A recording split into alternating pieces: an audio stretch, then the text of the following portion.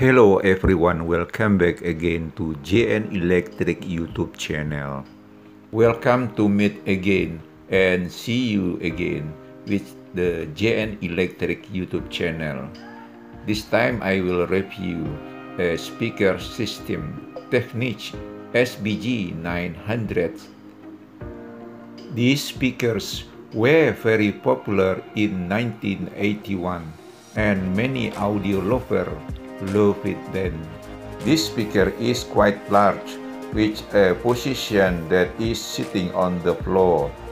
Sound divider setting or called the crossover is located behind the speaker terminal. Four-way with five speakers having a maximum power of 300 watts has the following specification.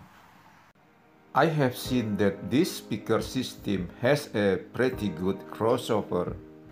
By the way, there is something missing. They have to add a capacitor parallel to the subwoofer coil. For those of you who still have speaker wanting to replace all capacitor, you can be done.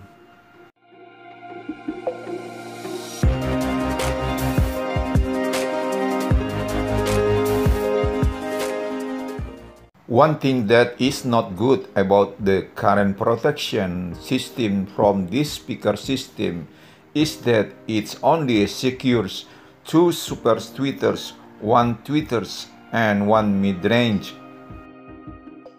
I will demonstrate a simulation when this crossover is overloaded.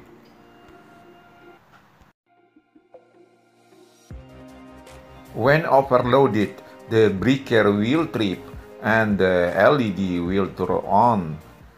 And why is the subwoofer not installed with a circuit breaker?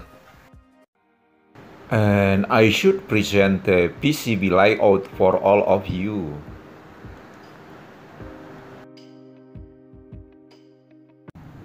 You can see the size of this speaker is 15 to 16 inch is too big enough for a small room. Technics SB G900, this was first made in 1981.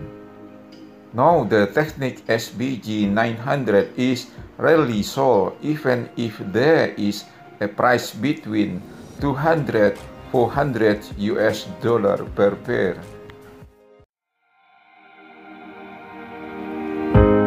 Thank you for watching. See you later.